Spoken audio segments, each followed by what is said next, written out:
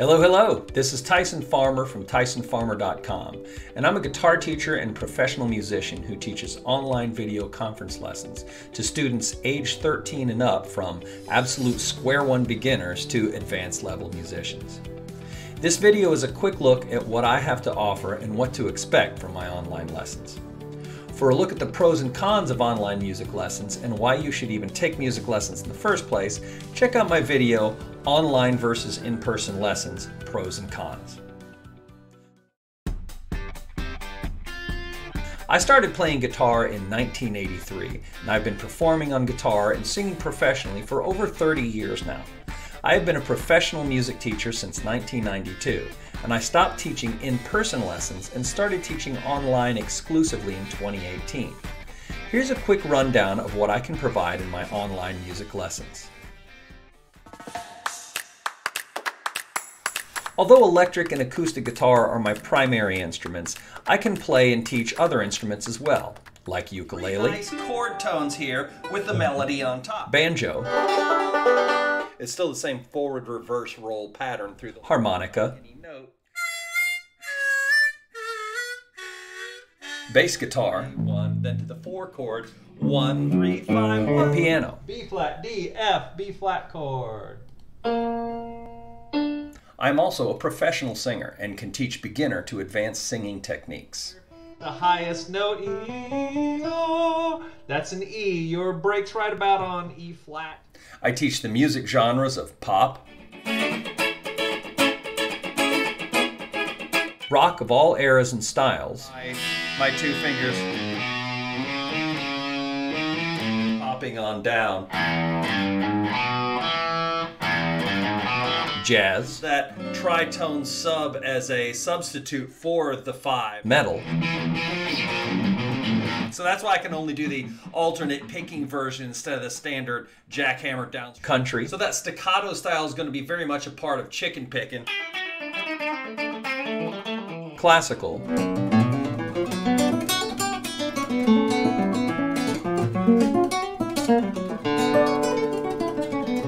reggae and ska, The left hand there. So by the time you add the strum pattern, you've got the reggae funk, And when it comes to the uh, classic James Brown funk sound, soul, it just works out to be a standard one, six, two, five progression, kind of just cycling and around. pretty much any other music style that you can throw at me.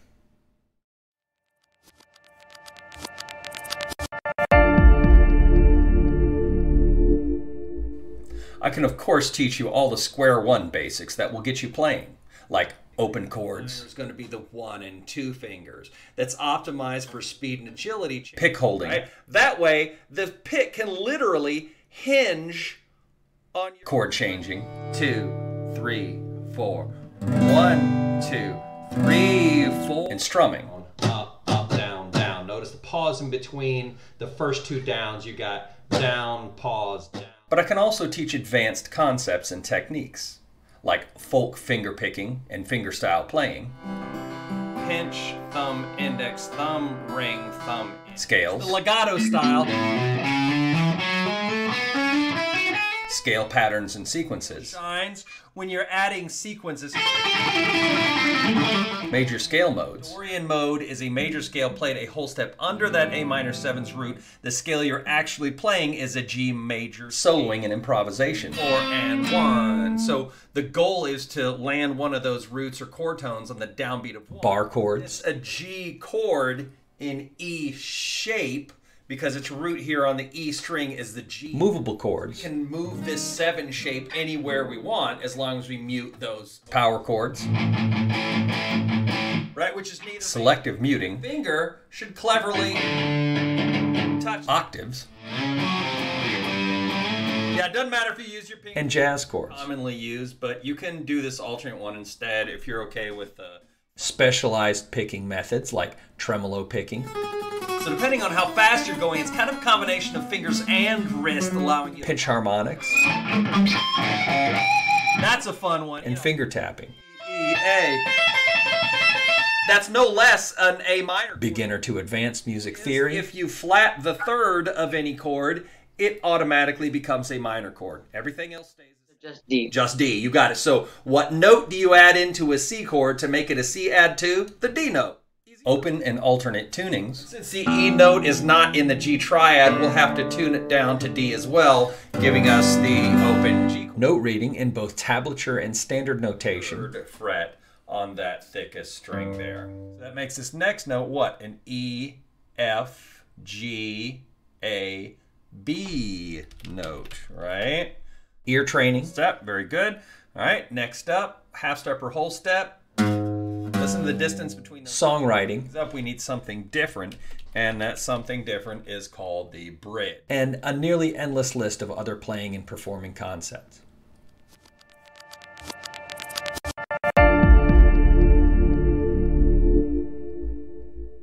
In my online lessons, I can show my students multiple camera angles of my instruments and hands, including the ability to share my desktop audio and video for practice and teaching purposes. I have an extensive archive of song tablature, standard notation, chord grids, scale diagrams, and music theory reference charts that I use during any lesson. And I can custom create any other song charts or lesson documentation you need during the lesson and email those to you at the end of every lesson. So you don't really need to purchase any lesson materials to prepare for them. In other words, we will continuously create your own customized lesson book together as you progress in the lessons. I'm always adding to a robust suite of YouTube practice videos that you can use on your own to guide you through a wide variety of different practice topics and skill building exercises between lessons to make practicing by yourself easier. If you want, I can even video record any lessons and send you a link to the download at the end of the lesson so you can review it or use it anytime you want for your own personal guided practice sessions.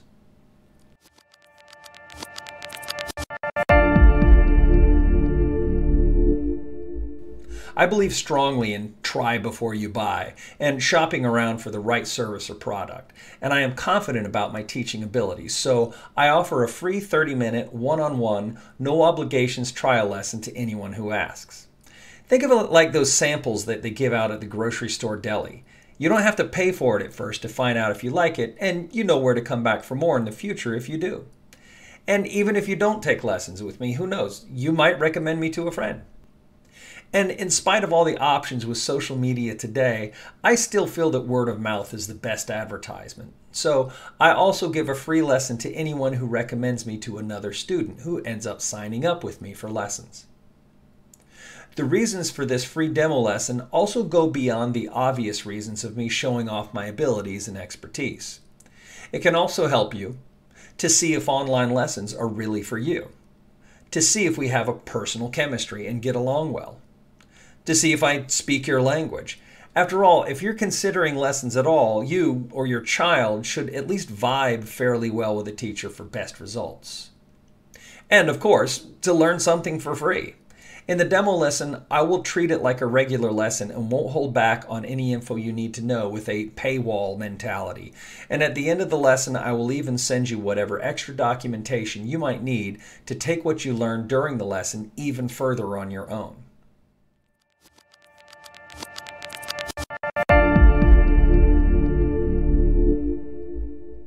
So, that's a basic overview of what I can offer as an online music teacher. For more in depth information on my credentials, music history, teaching philosophy, and other frequently asked questions, check out my website at tysonfarmer.com.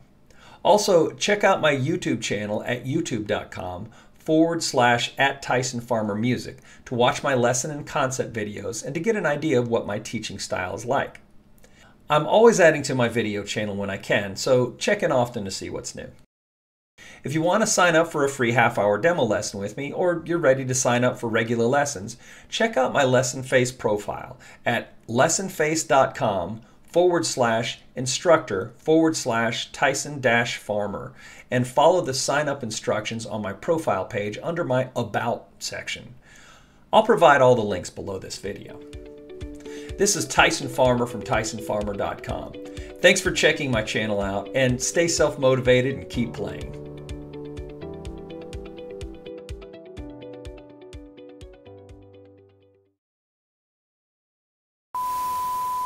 But when you do this,